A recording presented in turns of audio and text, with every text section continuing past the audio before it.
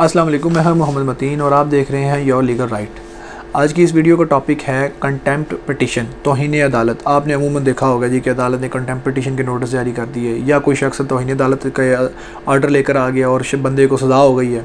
तो इस वीडियो के अंदर हम इसी के बारे में बताएँगे कि है क्या कंटेम्प्ट पटिशन कब होती है। बेसिकली कंटेंट पटिशन तभी फ़ाइल की होती है जब ऑलरेडी एक कोर्ट ने एक ऑर्डर जारी किया जाता है। हम इस वीडियो को लिंक कर रहे हैं अपनी एक पुरानी, एक हमारी प्रीवियस वीडियो के साथ, जिसके अंदर हमने ज़िक्र किया था स्टे ऑर्डर के बारे में, कि स्टे क्या है क्या चीज़ है, कैसे ग्रांट किया जाता है, किसके हक़ में होता है तो किसके ख़िलाफ़ होता है, जिसके हक़ में होता है तो उसका, वो किस तरीके से उसको यूज़ कर सकता है। लेट सपोज़ एक शख्स है, उसके अदालत ने स्टे ऑर्डर, जिसको हम इंजेक्टिव ऑर्डर दे का नाम देते हैं लीगल टर्मिनोलॉजी में, वो मिला हुआ है उसको। और जबकि, लेकिन दूसरी पार्टी इसके अंदर मुसलसल इंटरफेरेंस कर रही है। उसने कहा जी अदालत के अंदर आया कि ये मेरी ज़मीन है या ये मेरा घर है। इसको कहें जी कि ना इसको तोड़ फोड़ करे, ना इसको बेचे, ना इसकी ये नोयत तब्दील करे। लेकिन दूसरा शख्स आके जनाब धमका रहा है या उसकी, अगर वो सिंपली एग्रीकल्चरल लैंड है तो उसके ऊपर उसने फ़सल काश कर ली अपनी मर्ज़ी की और अपना हुक्म चला रहा है।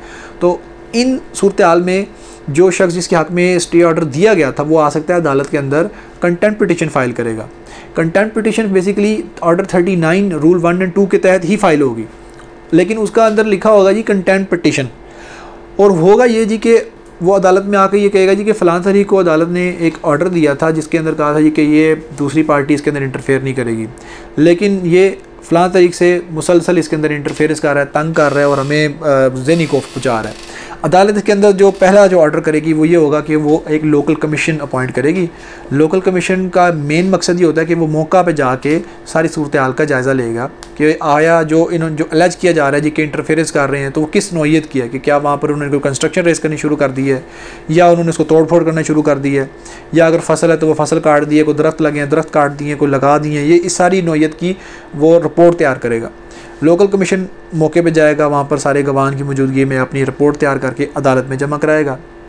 अदालत में जमा कराने के बाद अब जो नेक्स्ट ऑर्डर जो कोर्ट करेगी, वो ये हो सकता है कि वो दूसरी पार्टी को दोबारा कहेगी जी कि भी आपने इसमें इंटरफेरेंस की है तो लिहाजा मज़ीद इसके अंदर इंटरफेरेंस ना करें। सेम ऑर्डर जो बरकरार रखा जा रहा है, उसी पर आप रहें और मज़ीद आगे अपने जो राइट उसे तजावज़ ना करें। लेट सपोज़ अगर वो शख्स बार बार इंटरफेरेंस कर रहा है और वो फिर भी अदालत के अहकाम को पसे पुश डाल रहे हैं उस सूरत हाल में जो नेक्स्ट रेमेडी है, वो है अदालत के पास कि वो उनको दो में से कोई एक पनिशमेंट या दोनों दे सकती है। वो यही है कि या तो उसको सिविल प्रिजन में डाल देंगे।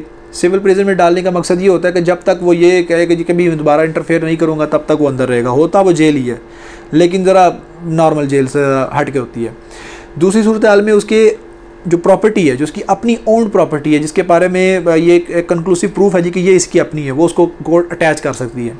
उसको अटैच करके अपने पास रख लेगी, ये एज अ डेटरेंस होगी कि भाई अगर तुम इस मेरे ऑर्डर को नहीं मानोगे तो मैं तुम्हारी प्रॉपर्टी को अटैच करके बेच भी सकता हूँ और अदालत बेच भी सकती है। लेकिन अमूमन इस लहज पे बातें कम ही आती हैं, इससे पहले ही मामला सेटल हो जाते हैं। तो ये कंटेंट पटिशन जो आपने अमूमन देखता होगा। लेकिन जो हाई कोर्ट और सुप्रीम कोर्ट कंटेम्प्ट पटिशन के जो नोटिस नोटिस जारी करती है, वो एक अलहदा से कंटेम्प्ट क्या कहते हैं कंटेम्प्ट ऑर्डीनेंस है। उसमें बेसिकली कुछ चीज़ें मैंने बयान की कि अदालत ने अगर एक ऑर्डर किया और उसकी ऑर्डर की अगर खिलाफ वर्जी हो गई है, और तो हाई कोर्ट या सुप्रीम कोर्ट के पास ये स्पेसिफिकली पावर है कि वो उस ऑर्डीनेंस के तहत जो तोहन कर रहा है, उसको छः माह की सज़ा दे सकती है। और अगर वो सरकारी मुलाजम हुआ तो उसकी नौकरी भी जा सकती है। तो ये आज की वीडियो है, जिसके अंदर हमने सिंपली आपको बताया जी कि कंटेम्पटेशन होती क्या है, किस तरीके से आप ये फ़ाइल कर सकते हैं और किस तरीके से आपको ये फ़ायदा मंद देगी। उम्मीद है आपको ये वीडियो हमारी अच्छी लगी होगी। इसको लाइक करें, इसको अगर आप हमें सपोर्ट करें अल्लाह हाफ़िज़।